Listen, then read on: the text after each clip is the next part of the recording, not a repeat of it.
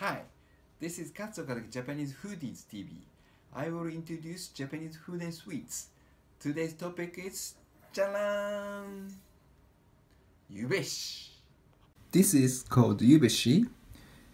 Yubeshi is made of rice cake and the flavor is used yuzu which is citrus and inside there are chestnuts so it's crunchy at the same time it's it's very tasty as well why don't you check it out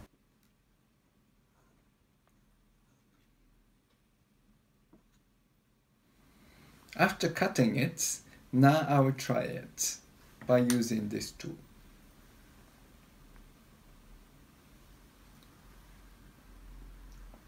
Mmm. Yummy! If you come to Japan, why don't you try it?